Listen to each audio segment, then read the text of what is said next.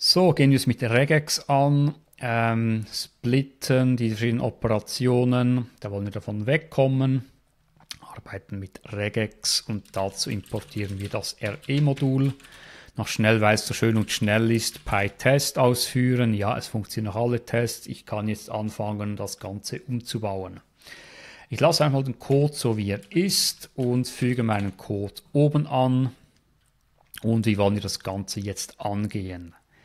Wir haben wieder ein Pattern und wir haben ein re.compile, also Regular Expression Compile. Wir kompilieren das und ich fange ganz neu mit einem leeren String an. Was machen wir jetzt? Äh, Mannschaftsname, also am Anfang des Strings haben wir beliebige Zeichen, die wir auch capturen wollen dann kommt ein Space und dann kommen mehrere Digits und ein Doppelpunkt. Schauen wir mal uns den linken Teil an, so viel wir eben brauchen. Und jetzt machen wir mit diesem Pattern äh, einen Full Match auf das Raw Result. Und dann schauen wir mal, was das da zurückgibt. Ich mache mal ein Print da, weil ich es nicht mehr auswendig weiß. Und ich glaube mit PyTest, ich bin mir nicht sicher, ob jetzt das ausgegeben wird. Ich probiere es mal. Äh, da bekomme ich da schon mal eine Warnung. Invalid Escape Sequence. Ja, Backslash hat er nicht gerne. Mache einen Raw String daraus, wo eben solche, solche Backslashes nicht als Escape-Sequenzen interpretiert werden. Starte es noch einmal. Okay, jetzt habe ich hier einen Test, der durchläuft. Ich bekomme aber diese Ausgabe hier nicht. Übrigens bei XUnit äh, geht das leider auch nicht, diese Ausgabe anzuzeigen, aber bei PyTest gibt es eine Möglichkeit. Und das heißt PyTest-S, das steht ironischerweise für Silence. Äh, dachte ich, bin mir nicht sicher. Ich starte es einfach jetzt mal und sehe da None. Also es matcht nichts. Der Test läuft zwar noch durch. Ähm, ja, wir müssen mal schauen, Full Match Raw Result, das klappt noch nicht. Also das habe ich jetzt dieses Mal falsch gemacht. Ähm, Pattern re.compile, Rostring, es fängt an, ich habe beliebige Zeichen, dann ein Space, dann kommen mehrere Zahlen und eigentlich nochmal mehrere Zahlen und dann noch der Auswärtsteamname und dann ist das Ding zu Ende. Ah, das war das Problem mit Full Match. Ja, genau. Ich gehe vielleicht, buchstabiere mal zurück, mache hier einfach einen Match. Dann fängt, glaube ich, nur vorne an zu suchen. Vielleicht macht das einen Unterschied. Jawohl, das macht einen Unterschied. Jetzt matcht er das Ding, obwohl ich noch nicht den ganzen String beschrieben habe. Full Match brauchen Sie, wenn Sie wirklich den kompletten String matchen wollen, was wir eigentlich auch wollen. Aber jetzt hier, wenn wir das schrittweise machen, war es eben äh, die falsche Wahl.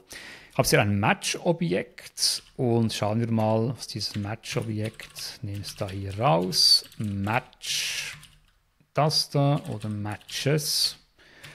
Und dieses Match hat auch wiederum so Gruppen drauf, Groups glaube ich, geben wir mal die aus. Bilden als eine Methode. Schauen wir mal, was da zurückkommt.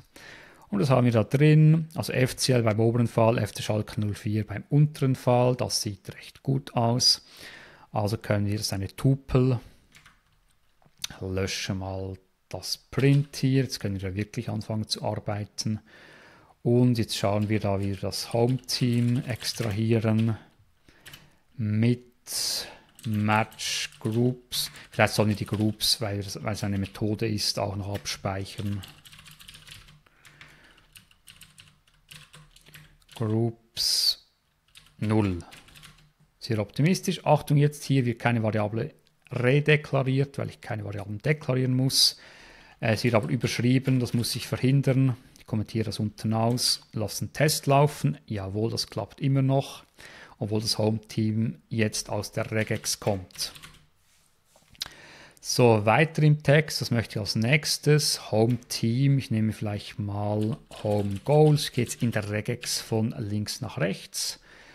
Groups 1, die gibt es noch gar nicht, mache ich die. Groups 1 und muss ich aufpassen, Home Goals wird dann unten überschrieben. Natürlich würde das laufen. Schau mal, ob das da klappt.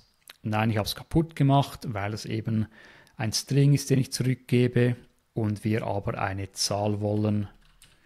Int, ups, so, schauen wir, ob das läuft. Wunderbar, das läuft. Jetzt kann ich das da hier unten löschen und ich sehe da Parts Left ist grau, weil es nicht mehr gebraucht wird und Left Part ist grau, weil es nicht mehr gebraucht wird. Jetzt kann ich das löschen. Funktioniert immer noch und jetzt geht es weiter im Text. Äh, ich habe hier das Matching und dann das Extrahieren. Gruppiert es ein bisschen. Und was haben wir hier? Away Team, Groups, machst du mal ganz naiv. Dann nehmen wir zuerst die Away Goals int groups 2. Das wird nicht klappen, weil die Group Tuple Index Out of Range, die gibt es noch gar nicht. Also mehrere Digits, eins oder mehreres, mehrere bei einem Kontersieg.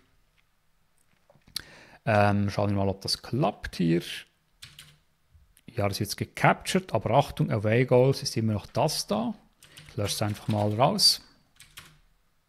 Ja, klappt immer noch, wenn ich es aus der Regex nehme und unten nicht mehr überschreibe. So, jetzt zu guter Letzt nehmen wir noch beliebig viele beliebige Zeichen und speichern das als Away Team ab, Groups 0123. Hier ist der Index anders, weil der Match 0 nicht äh, der gesamte String ist. Das ist eine, ein Implementierungsunterschied gegenüber äh, der C-Sharp Regex Implementierung. Und wichtig, Away-Team darf ich hier äh, nicht mehr haben. Das brauche ich auch nicht mehr, das auch nicht mehr, das auch nicht mehr. Ich meinen Code vereinfacht. Jetzt kommt alles aus der Regex. Funktioniert es aber auch noch? Jawohl, es funktioniert. Wir können jetzt auch noch hier sagen, dass hier das Dollar dran muss, weil der String dann fertig ist. Das ändert überhaupt nichts an der Sache. Ich kann aber jetzt hier statt Match kann ich äh, wieder dieses Full Match verwenden, weil der ganze String gematcht werden muss und auch das klappt noch. Äh, Regex äh, braucht es nicht sehr oft, muss auch immer nachschlagen. Kann Ihnen dann sonst noch ein Tutorial verlinken. Aber jetzt hätten wir das umgebaut, am Test haben wir nichts geändert, läuft ihm noch alles durch. Ähm, git ads aus der History. Oh nein, das ist das falsche mach's von Hand, git add tests, Soccer Table Test und Soccer Table Parsing, commit reimplemented parsing with regex. Dann werde ich jetzt fertig. Hoffe, Sie haben ein bisschen was gelernt da. Äh, Sie können auch die C-Sharp und Python-Implementierung miteinander vergleichen. Python einfach naturgemäß etwas kürzer weil es halt schwach typisiert ist. Und ich spare mir weiter Kommentare, bedanke mich für die Aufmerksamkeit und bis bald im Unterricht. Auf Wiedersehen.